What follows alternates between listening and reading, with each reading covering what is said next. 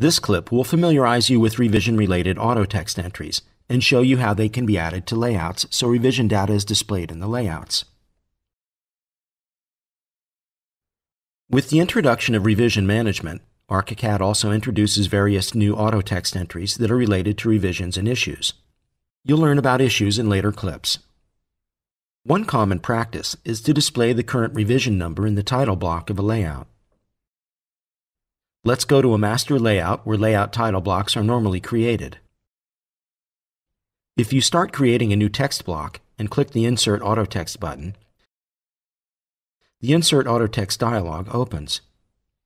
The Category field now offers a new category called Layout Revision. This category contains auto text items related to revisions and issues.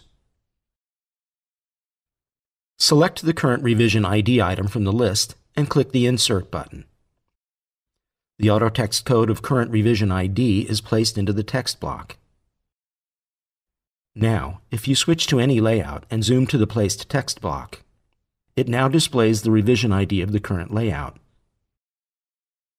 This is the same layout specific revision ID that's displayed in the revision history of the layout.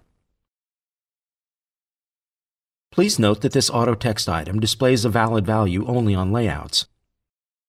As we saw earlier, when it's inserted into a text block on a master layout, only its auto text code will be displayed.